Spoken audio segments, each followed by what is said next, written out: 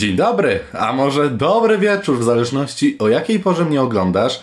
Witam Cię bardzo serdecznie w kolejnym odcinku Drogi do Liverpoolu. Tak, polskie preselekcje zbliżają się coraz szybciej, pędzimy do nich, publikując kolejne wywiady i reakcje. Jednakże dzisiaj chwila przerwy od polskich emocji, dlatego że zajmiemy się kolejną piosenką wybraną na Eurowizję 2023.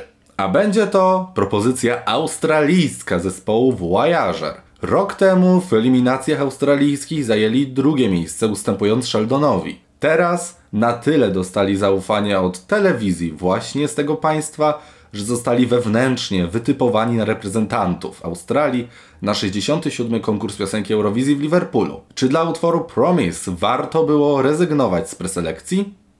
Przekonajmy się.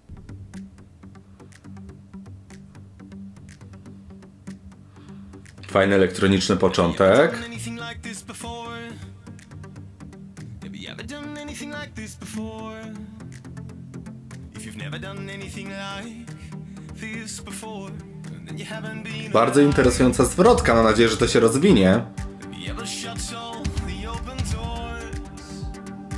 Bardzo lubię ich propozycję zeszłoroczną, więc liczę, że ta będzie co najmniej tak samo dobra. Back for more? I'm here tonight. Promise me you'll hold me till I die.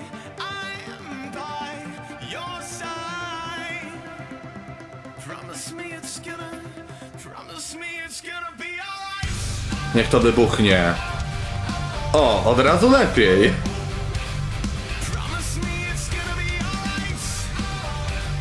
To połączenie mocnych brzmień z elektroniką. Jestem fanem od zeszłego roku, naprawdę. I nie czuję zawodu na razie.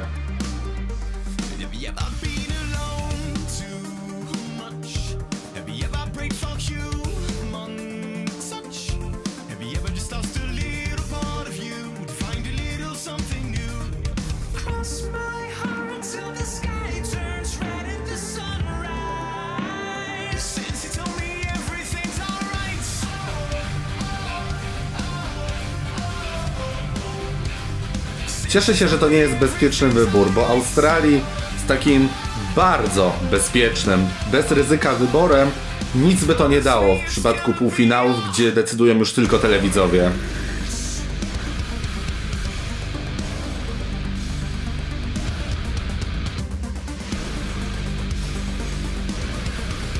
Bridge świetny.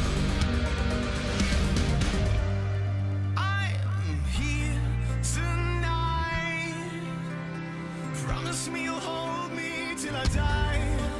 I'm by your side.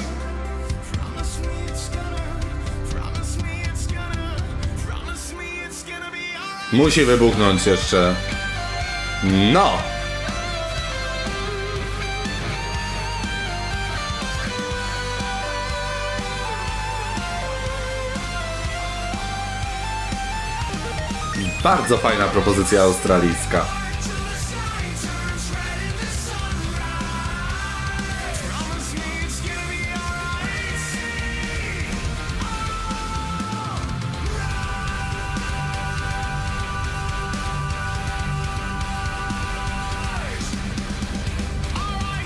To nie będzie druga Montaigne. Pewny finał. Brawo Australio. Australio, wykonałaś kawał dobrej roboty. Tutaj mam wszystko, czego chyba mi brakowało rok temu w utworze tego zespołu. Jest tutaj fajne połączenie rocka, takiego metalu z elektroniką. Ja jestem fanem wszelkich elektronicznych brzmień, o czym zresztą dobrze wiecie, jeżeli nie od dzisiaj oglądacie moje reakcje. I tutaj ten utwór daje mi wszystko, tak jak mówię, czego mi trochę może zabrakło rok temu. Jest to bardzo fajne, bardzo ciekawe, tak jak już mówiłem na wstępie. Myślę, że w końcu Australia nie popełni tego błędu, co popełniła z Montaigne, co moim zdaniem popełniła z Isaiahem w 2017. Jest to utwór, tak jak mówię, bardzo intrygujący, bardzo ciekawy. Tutaj się mieszają te gatunki. Mamy przerwę, po czym jest ten krzyk, to takie wydarcie się rokowe. Mamy bardzo chwytliwy refren, bo mi ta melodia lata teraz po głowie bez problemu. Także myślę o tym, co już mówiłem. Australia będzie ponownie w finale, jestem o tym prawie pewien. I bardzo się cieszę z tego powodu, że właśnie Australijczycy wobec braku jurorów faktycznie wysyłają coś trochę ryzykownego, może się wydawać, z takiego pobieżnego spojrzenia na sprawę, ale bardzo ciekawego. Bardzo jestem zadowolony z tego wyboru. Cieszę się, że Australia podejmuje mimo wszystko to ryzyko, a nie wypuszcza kolejną pompatyczną balladę czy mierną popówkę, więc stawka Eurowizji tylko się urozmaica i tym się powinniśmy cieszyć. Super V! Brawa Australia! Dajcie znać w komentarzach, co myślicie o utworze Promise i na którym miejscu jest w waszych topkach. Ponadto zajrzyjcie na nasze wszelkie social media oraz powróćcie do starych filmów w ramach Droga do Liverpoolu i Droga do Hallu, jeżeli jeszcze ich nie widzieliście. To wszystko na dzisiaj. Żegnam Was bardzo ciepło i serdecznie. Cześć i do zobaczenia już wkrótce.